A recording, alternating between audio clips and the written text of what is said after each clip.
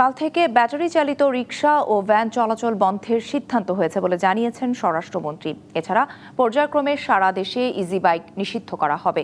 দুপুরে সচিবালয়ে সড়ক পরিবহন টাস্ক ফোর্সের সভা শেষে সাংবাদিকদের কথা জানান মন্ত্রী। এছাড়া পরিবহন শ্রমিকদের নিয়োগপত্র দেওয়ার সিদ্ধান্ত হয়েছে বলেও জানান তিনি।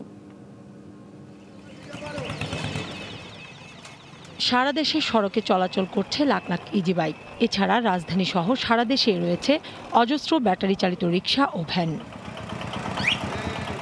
এসব যানবাহনে বিপুল বিদ্যুৎ খরচের পাশাপাশি যানজট সৃষ্টি ও দুর্ঘটনা ঘটছে। সমস্যার সমাধানে করণীয় নির্ধারণে সড়ক পরিবহন টাস্ক ফোর্স গঠন করে স্বরাষ্ট্র মন্ত্রণালয়ে। এই টাস্ক ফোর্স থেকে একশো এগারোটি সুপারিশ এলে রবিবার দুপুরে আলোচনায় বসেন সংশ্লিষ্টরা। পরে স্বরাষ্ট্রমন্ত্রী জানান, এরই মধ্যে তেরো হাজার ইজি বাইক ধ্বংস করা হয়েছে। কিছুদিনের মধ্যে সারা দেশেই চলাচল নিষিদ্ধ করা হবে। ছোট ছোট গলিতে এগুলি চলার কথা ছিল, প্রথমে তো সেইভাবেই আসছিল, কিন্তু এখন এরা সর্বত্র বিচরণ করছে। ইজি বাইককে নিয়ন্ত্রণ করে দেওয়া হচ্ছে, তারা যেন তাদের নির্দিষ্ট স্থান থেকে যেন বার, বের না হতে পারে। এইটাও আমরা ক্রমান্বয়ে এটাও বন্ধ করে দিব। প্যাডেল চালিত রিক্সাকে যারা ইঞ্জিন দিয়ে রূপান্তরণ করেছিলেন সেই সমস্ত রিক্সা ভ্যান আমরা বন্ধ করার সিদ্ধান্ত আজকে এই সভাতে হয়েছে। স্বরাষ্ট্রমন্ত্রী আরও জানান পরিবহন শ্রমিকদের শিগগিরই নিয়োগপত্র দেওয়ার সিদ্ধান্ত হয়েছে। মালিকদেরকে অবশ্যই ওই যে নিয়োগপত্র দিতে হবে।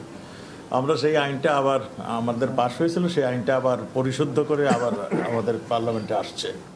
যত্রতত্র চাঁদা বন্ধের পাশাপাশি সরকার কিংবা কর্তৃপক্ষ নির্ধারিত টার্মিনাল থেকেই টোল আদায় করতে হবে বলেও জানান মন্ত্রী। টার্মিনাল ব্যতীত কোনো জায়গা থেকে চাঁদা আদায় করতে পারবে না। Kausara Chowdhury Kumu DBC news Dhaka. এই বিষয়ে আরও জানাতে আমাদের সঙ্গে অনলাইনে যুক্ত হচ্ছেন পরিবহন বিশেষজ্ঞ অধ্যাপক ডক্টর শামসুল হক। জনাব শামসুল হক আপনাকে স্বাগত। আজকের যে সিদ্ধান্তটি এসেছে স্বরাষ্ট্র মন্ত্রণালয় থেকে সেটি নিশ্চয়ই শুনছিলেন। কিন্তু ব্যাটারি চালিত রিক্সা ভ্যান তো এমনিতেই আগে থেকেই নিষিদ্ধ। আজকে আবারও সেটিকে নিষিদ্ধ ঘোষণা করা হলো। বারবার ঘোষণা দিয়েও এই যানবাহনগুলোকে তো বন্ধ করা যাচ্ছে না। এবারের ঘোষণায় কাজ হবে কিনা? ধন্যবাদ আপনাকে। আসলে আপনি যেটা বলছিলেন আমারও অবজারভেশন আমরা সবচেয়ে বেশি দুর্বল হচ্ছে হলো এনফোর্সমেন্টে সুপারিশমালার কিন্তু কোনো ঘাটতি নেই। এই ধরনের সুপারিশমালা অনেক আগের দিক থেকেই সরকারের কাছে ছিল, কিন্তু বাস্তবায়নে আমাদের অনীহা, বাস্তবায়নে দায়বদ্ধতা নাই। যেই কারণেই কিন্তু আবার নতুন করে সিদ্ধান্তটা নিতে হলো, কিন্তু এর মাঝখানে কিন্তু সমস্যাটা অনেক জটিল হয়ে গেছে, সংখ্যায় বেড়ে গেছে। এই এটার সাথে অনেকেরই কিন্তু জীবন জীবিকা চলে আসছে। তো আমি বলব আসলে বিশেষ করে মহাসড়ক এবং দ্রুত গতির রাস্তায় এই ধরনের ধীর গতির গাড়িগুলি চলা উচিত না। কারণ আমরা একটা নিরাপদ, টেকসই অবকাঠামো উন্নয়ন চাইলে ডেফিনেটলি এই ধীর গতির গাড়িগুলি রাস্তার কোনো যোগ্যতা নাই চলার। পাশাপাশি যারা চালাচ্ছেন তাদের হাইওয়েতে চালার টেম্পারমেন্টটাও কিন্তু নাই? সুতরাং এটা আজকের সিদ্ধান্ত না, এটা একটা রুটিন দায়িত্ব যে হাইওয়েতে দ্রুত গতির গাড়ি চলবে এবং অন্য যারা চলবে তারা অবৈধ। এটার জন্য আমার মনে হয় না সিদ্ধান্ত নিতে হয়। এটা দায়িত্বের মধ্যেই পড়ে, এটা অর্পিত দায়িত্বের মধ্যেই পড়ে বলে আমি মনে করি। জি, ডক্টর শামসুল হক, আপনি বলছিলেন যে ব্যাপারটি এরই মধ্যে বেশ জটিল হয়ে গিয়েছে, কারণ সংখ্যায় অনেক বেড়ে গিয়েছে। এই ইজি বাইক বলি বা ব্যাটারি চালিত রিক্সা ভ্যান বলি এবং যাত্রী যারা যোগাযোগের জন্য আসলে পরিবহন ব্যবস্থার জন্য এই ব্যাপারগুলোর উপর অনেকটা আমরা নির্ভরশীল হয়ে গিয়েছি, বিশেষ করে ঢাকার বাইরে জেলা বা বিভাগীয় শহরগুলোতে। পর্যায়ক্রমে যদি আজকের সিদ্ধান্তের কথা ধরেই বলি যে সারা দেশ থেকে এগুলোকে উঠিয়ে দেওয়া হবে পর্যায়ক্রমে, তখন তাহলে বিকল্প ব্যবস্থা কি হবে যাতায়াতের? আর যারা এর সাথে যাদের জীবিকা জড়িত, তাদেরই বা বিকল্প কি হবে? আপনি বলছিলেন যে আপনিও এই মিটিংটাতে আজকের মিটিংটাতে ছিলেন, যদিও সিদ্ধান্ত পর্যন্ত থাকতে পারেননি। নিশ্চয় আপনারা সুপারিশ দিয়েছেন এই বিষয়ে।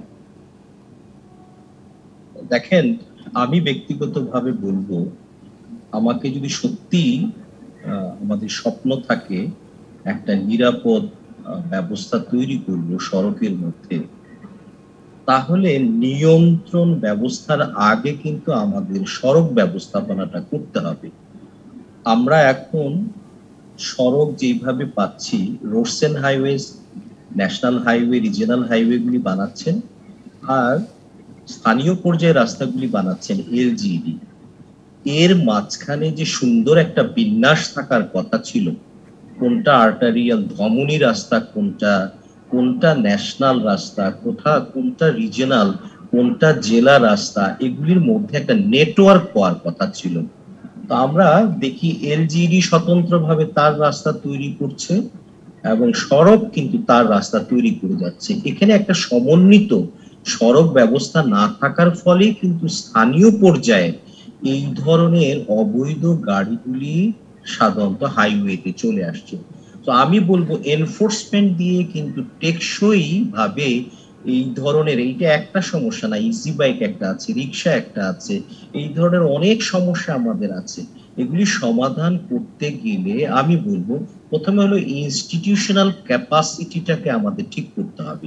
যারা এই দায়িত্বটা নিয়েছি, দায়িত্বটা পালন করার মতো লোকবল আছে কিনা এবং দায়িত্ব পালন করছে কিনা। দ্বিতীয় হলো সাপ্লাই এন্ডে এই যে স্থানীয় পর্যায়ের গাড়িগুলি হাইওয়েতে চলে আসছে, তাহলে স্থানীয় পর্যায়ের বিকল্প রাস্তা কিন্তু সরকারকেই করে দিতে হবে। জনগণ উন্নয়নের পার্টনার হচ্ছে, কিন্তু সে বিকল্প ভালো পাচ্ছে না। তো সেই হিসাবে আমি বলব আমাদের রাস্তা প্রচুর হচ্ছে, সংখ্যায় দৈর্ঘ্যে অনেক বেশি, কিন্তু সমন্বিত হচ্ছে না। নেটওয়ার্ক ভিত্তিক প্রাইমারি রাস্তায় চলতে না পারলে আমার প্যারালাল একটা সেকেন্ডারি রাস্তা থাকতে হবে, এটার নামই হচ্ছিল নেটওয়ার্ক কিন্তু আমাদের এখানে আমরা স্থানীয় পর্যায়ের কিছু রাস্তা করে তার সাথে সাথে শর্ট সার্কিট করে দেয় ন্যাশনাল হাইওয়েগুলির সাথে।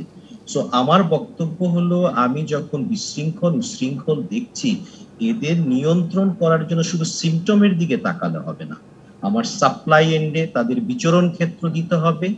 দেন অবৈধ গাড়িগুলিকে আস্তে আস্তে কিন্তু বৈধতার আওতায় নিয়ে আসতে হবে এবং ইনস্টিটিউশনাল ক্যাপাসিটিতে এই কারণেই বলছি যারা এখন এটা দেখভাল করছেন আমি আমার দৃষ্টিতে তাদের কোনো যোগ্যতাই নাই। এত বড় দেশের এত কমপ্লেক্স একটা সিস্টেমটাকে মনিটর করার জন্য। সুতরাং সেখানেও কিন্তু আমাদেরকে নজর দিতে হবে। আদারওয়াইজ আমি এই এই প্রফেশনে প্রায় পঁয়ত্রিশ বছর ধরে আছি। অনেক মন্ত্রী আসছে অনেক এক্সিকিউটিভ আসছে অনেক বিআরটির চেয়ারম্যান আসছে। এই কথা শুনতে শুনতে এনফোর্সমেন্ট করব এটা অবৈধ হাইওয়েতে নসিমন করিমন ভটপুরি চলবে না। একুশটা জেলার মধ্যে আমরা যে ন্যাশনাল হাইওয়েগুলি লিস্ট করে দিলাম এখানে এগুলি এনফোর্স করা হবে। কিছুই হয়নি। সো এগুলি একটা গিমিক্স এগুলিকে এনফোর্স করতে পারি না এটা আগে স্বীকার করতে হবে। স্বীকার করে আমাদেরকে তার প্রয়োজনীয় সব সাইডটা কিন্তু দেখতে হবে। তাহলেই একটা আমি যখন সিদ্ধান্ত নিব স্বরাষ্ট্র মন্ত্রণালয় কিন্তু একটা টাস্ক ফোর্সের নেতৃত্ব দিচ্ছে। এই কথা যদি বাস্তবায়ন না হয় তাহলে বুঝতে হবে মানুষের কিন্তু আর কোনো আস্থার জায়গা থাকবে। জি ডক্টর শামসুল হক অনেক অনেক ধন্যবাদ আমাদেরকে সময় দেবার জন্য আপনাকে অনেক ধন্যবাদ আমাকে আমন্ত্রণ জানান